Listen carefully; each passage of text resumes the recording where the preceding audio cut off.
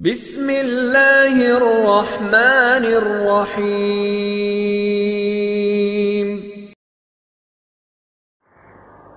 الحمد لله رب العالمين والعاقبة للمتقين والصلاة والسلام على سيد الأنبياء والمرسلين. الله أكبر الله أكبر الله أكبر. لبیک لبیک لبیک یا رسول اللہ صلی اللہ علیہ وآلہ وسلم۔ آج جس موضوع پہ ہم گفتگو کرنے جا رہے ہیں، آقا کریم علیہ صلاۃ وسلام کے چہرہ اقدس کو جس جس نے بھی دیکھا،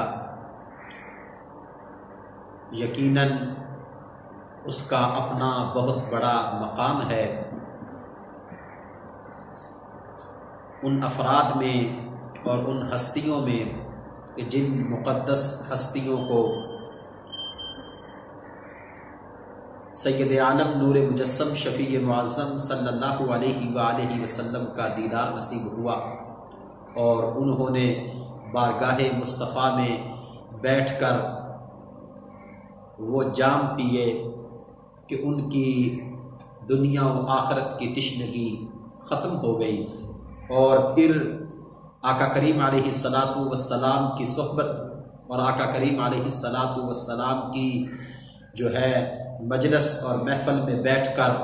ان کو جو سکون میسر آیا اور ان کی روح کو جو تازگی میسر آئی، یقیناً وہ اپنی مثال آپ ہے اس شاکان مصطفیٰ صلی اللہ علیہ وآلہ وسلم کی لسٹ کے اندر ایک بہت بڑا نام سیدنا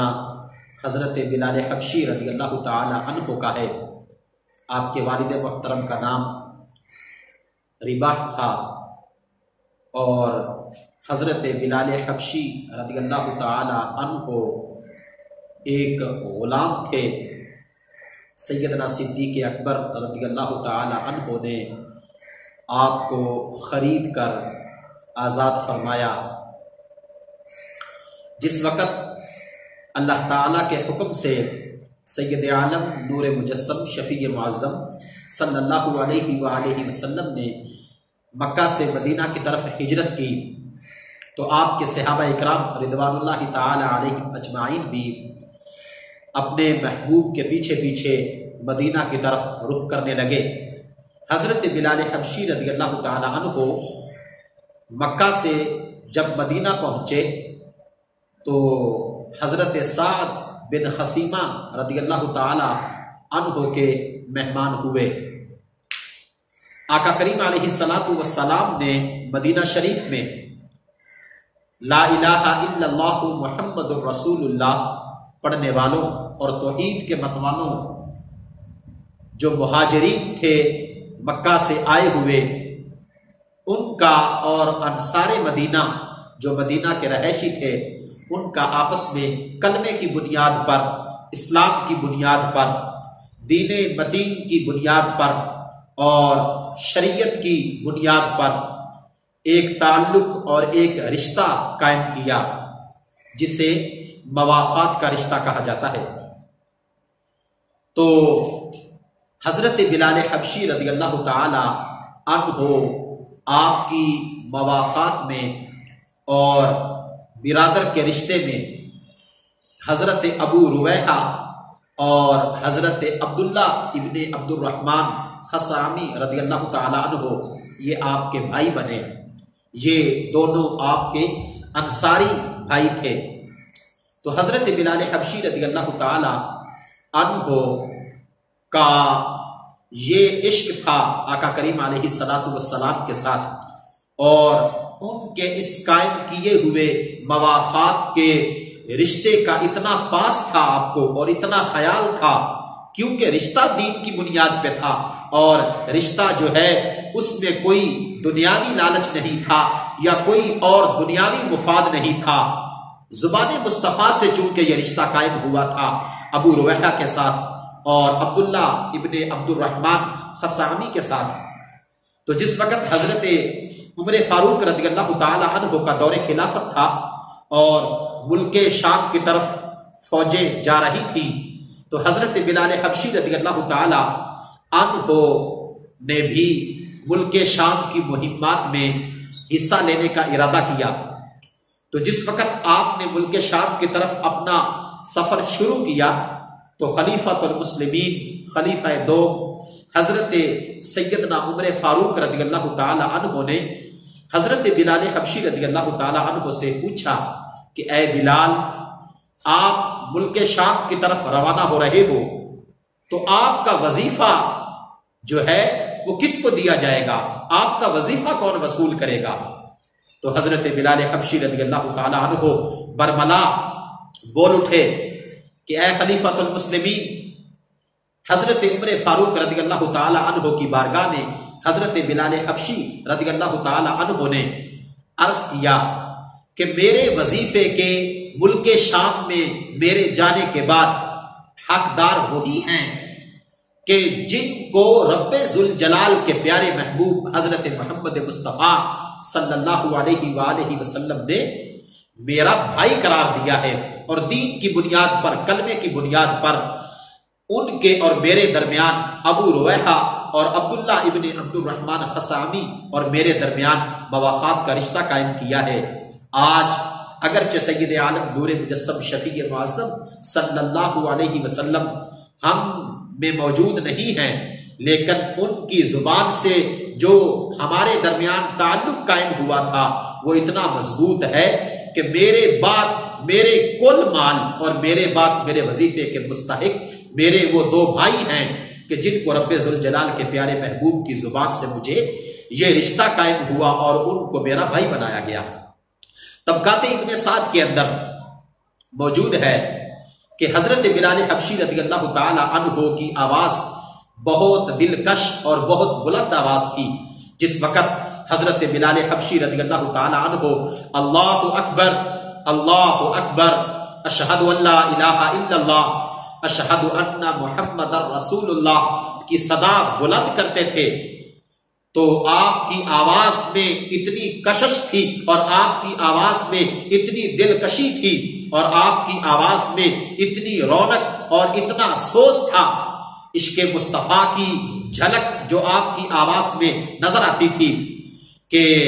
جو مردان عرب تھے اپنا کام کاج چھوڑ کر اور شبستان حرم کو خواتین چھوڑ کر اور کھیل کود کو بچے چھوڑ کر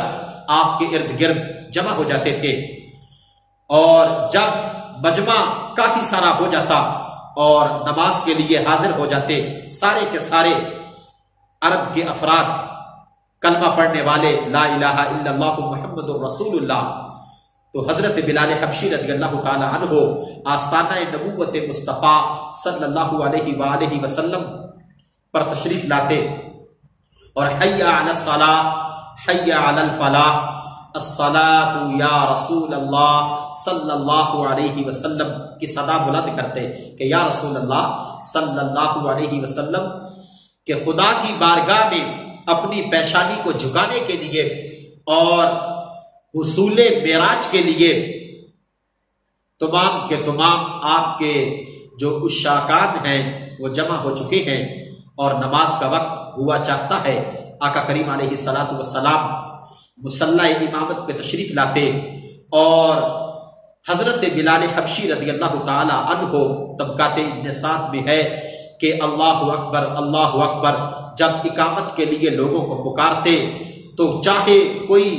امیر تھا، کوئی غریب تھا، کسی کا کسی قبیلے سے، کسی کا کسی قبیلے سے کوئی رنگ کا گورا کوئی رنگ کا کالا، تو سارے کے سارے آقا کریم علیہ السلاۃ والسلام کی ابتدا میں حضرت بلال حبشی رضی اللہ تعالی عنہ کی اس تکبیر پر ایک ہی صف میں کھڑے ہو جاتے تھے۔ اور خدا کی بارگاہ میں حصول معراج کے لیے اپنے آپ کو پیش کر دیتے تھے۔ حضرت بلال حبشی رضی اللہ تعالی عنہ ہر صحابی نے جو آقا کریم علیہ السلاۃ والسلام کے ساتھ ان کو نسبت ہے اور جو ان کا پیار کا ایک انداز ہے، اس کی اپنی ایک مثال ہے۔ لیکن حضرت بلال حبشی رضی اللہ تعالی عنہ کا ایک اپنا ہی انداز ہے۔ پہلے حبشی تھے، رنگ کے کالے تھے اور ہونٹ موٹے تھے، بال گھنگریانے تھے۔ لیکن جب سے حضور کی صحبت میں بیٹھے اور آقا کریم علیہ السلاۃ والسلام کے ودعا کے چہرے کو دیکھا، تو رب ذوالجلال نے نسبت مصطفیٰ صلی اللہ علیہ وآلہ وسلم کی برکت سے آپ کو وہ مرتبہ اور مقام عطا فرمایا کہ رب ذوالجلال کے پیارے محبوب علیہ السلاۃ والسلام جب معراج سے واپس آتے ہیں تو بلال سے پوچھتے ہیں کہ بلال تم کون سا ایسا عمل کرتے ہو کہ چلتے تم زمین پہ ہو لیکن تمہارے قدموں کی آہٹ جنت میں سنائی دیتی ہے؟ میرے پیارے اسلامی بھائیوں، آج کے اس پرفتن حالات میں حضرت بلال حبشی رضی اللہ تعالی ان ہو کے عشق کی جو چنگاری ہے، اس کو محسوس کرنے کی ضرورت ہے کہ کیا آج ہم کلمہ پڑھ کر دین کا حق ادا کر رہے ہیں؟ آج کا وہ ماحول ہے جب فرائض اور واجبات اور سنت اور باقی سارے معاملات تو ایک علیحدہ اس کا ایک حساب ہے، لیکن جو فرائض ہیں، ان فرائض کے اندر جہاں نماز فرض ہے اور جہاں روزہ، حج اور زکات فرض ہے، وہاں پہ یہ بھی فرض ہے کہ اتنی دیر تک نماز کی فرضیت زکات کی فرضیت، حج کی فرضیت اور دیگر وہ سارے دین کے اندر جو اعمال ہیں، ان کی قبولیت نہیں جتنی دیر تک عشق مصطفیٰ کی چنگاری بندے کے دل میں موجود رہا لہذا حضرت بلال حبشی رضی اللہ تعالی عنہ کا یہ مقام ہے کہ صدیوں گزرنے کے بعد وہ سکندر اعظم ہو یا پھر نشیرواں ہو، ایران کا یا کیسر و کسرا کا جمشید ہو، نمرود ہو کارون ہو، فرعون ہو، حامان ہو، ابو جہل ہو، وہ بڑے بڑے نام صرف آج ان کے قصے اور کہانیاں باقی ہیں۔ لیکن حضرت بلال حبشی رضی اللہ تعالی عنہ اگرچہ خرید کے آزاد کیے ہوئے ایک غلام تھے، اگرچہ حبشہ کے تھے رنگ کے اگرچہ کالے تھے لیکن محبت مصطفیٰ اور عشق مصطفیٰ کے دامن کو پکڑنے کی وجہ سے ان کو یہ مقام و مرتبہ ملا کہ آج بھی ان کا کردار اور ان کی سیرت ہمارے لیے مشن راہ ہے۔ آقا کریم علیہ السلام والسلام نے ارشاد فرمایا اصحابی کا نجوم فابی ایہی مقتدیتم کہ میرے صحابہ ستاروں کی مانند ہیں۔ تم ان میں سے کسی کے ساتھ بھی منسلک ہو جاؤ گے تو بالآخر تم ہدایت کو پالو گے۔ پیارے اسلامی بھائیوں حضرت بلال حبشی رضی اللہ تعالی عنہ کا تذکرہ اور آپ کے مناقب اور آپ کے فضائل جو ہیں، وہ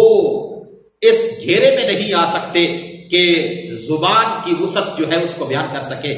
حضرت علامہ محمد اقبال رحمت اللہ علیہ نے بڑا خوبصورت جو ہے حضرت بلال حبشی رضی اللہ تعالی عنہ کے مناقب میں جو تذکرہ کیا شیری انداز میں میں اسی پہ اپنی گفتگو کو مکمل کرتا ہوں۔ حضرت علامہ محمد اقبال فرماتے ہیں، اذان ازل سے اس کے